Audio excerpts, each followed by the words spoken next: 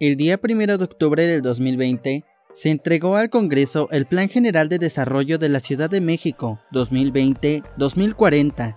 En dicho documento, en el eje 4, se detalla cómo será la red de transporte hacia el año 2040. Ahora hablaremos detalladamente del sistema cablebús y las seis líneas propuestas con horizonte para dicho año. Comenzamos.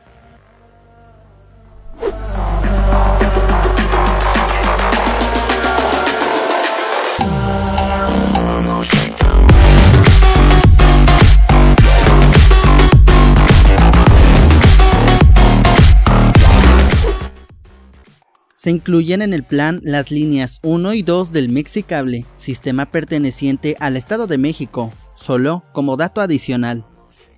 Línea 1 se mantiene sin modificaciones. Línea 2 se mantiene sin modificaciones. Se mencionaba que la línea 3 sería en la alcaldía Tlalpan, aunque no está determinado si será la tercera línea del sistema, ya que en dicha alcaldía existirán dos.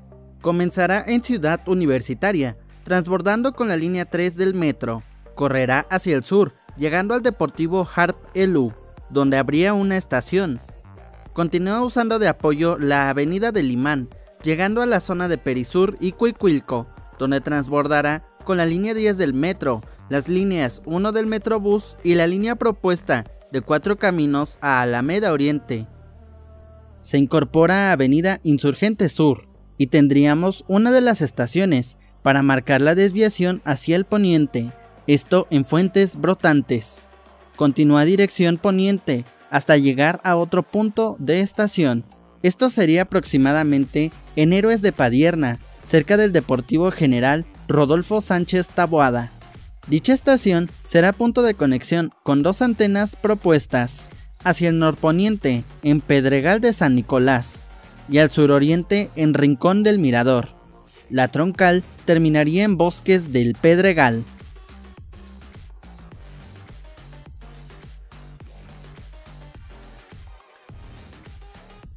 Se mencionaba que la línea 4 sería en la alcaldía Álvaro Obregón, correría cerca de la avenida Tamaulipas. Dicha línea saldría de la estación Valentín Campa, ampliación de la línea 12 del metro, y de la propuesta de la línea del metro de este mismo plan, que irá a Estadio Nesa 86.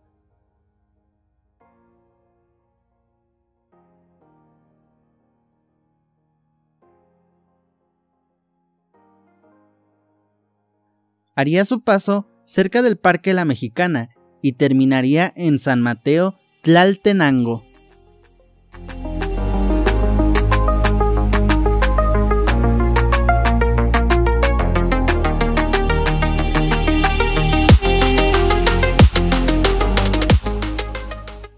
Se creará una nueva línea de cablebús en la alcaldía Coajimalpa, que saldría de la estación Santa Fe del tren interurbano México-Toluca, transbordando con el mismo, así como la línea propuesta del Metrobús de Tacubaya a Contadero, Santa Fe.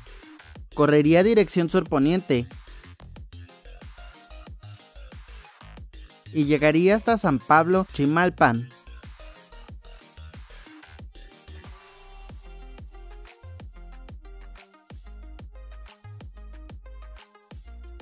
Se creará una nueva línea de cablebús en la alcaldía Álvaro Obregón y Magdalena Contreras, que saldría de la estación Mixcoac, transbordando con las líneas 7 y 12 del metro y la línea 8 del Metrobús. Avanza con dirección surponiente, llegando primeramente a Torres de Potrero, donde habrá una estación. Será punto clave de conexión con una antena, y a su vez esta tendrá una antena secundaria. Aún se desconoce cómo funcionará este sistema, si será independiente o será una sola línea. Avanza con dirección poniente, llegando a la colonia Lomas de la Era, donde se espera que haya una estación, y la última estación estará en la zona de San Bartolo Ameyalco. La antena principal avanza al sur, a la zona de Atacaxco, punto clave para la antena secundaria, donde habría una estación.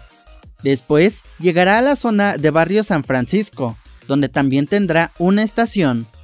Por último, llegará a la colonia La Magdalena, donde terminará la antena principal.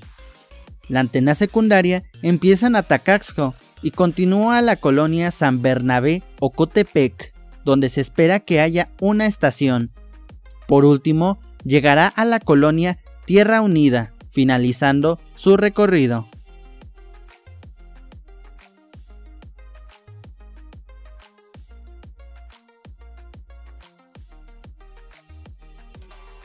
Se creará una nueva línea de cablebús en la alcaldía Tlalpan, que saldría de la estación Estadio Azteca de tren ligero Línea 1, transbordando con la misma. Se dirige en dirección surponiente. Poco después se espera que haya una estación entre La Joya y El Caminero para transbordar con la línea 1 del Metrobús. Unos metros adelante llegaría a la colonia Pedregal de las Águilas, donde se espera que haya una estación, que sería el punto clave para la antena secundaria. El ramal principal avanza hasta llegar a la colonia Cumbres de Tepetongo, donde terminaría la troncal. La antena secundaria saldría a dirección suroriente hasta llegar a la colonia San Andrés Totoltepec, finalizando su recorrido.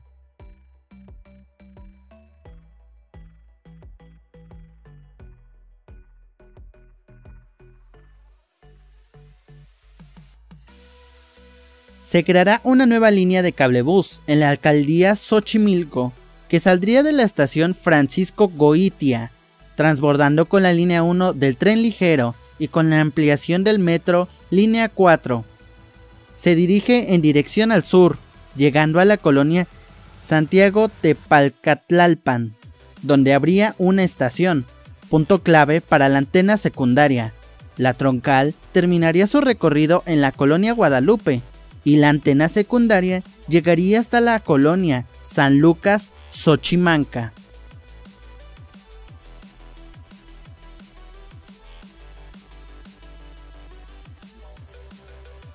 Con esto finalizamos la segunda parte del mapa general del transporte, con horizonte al año 2040.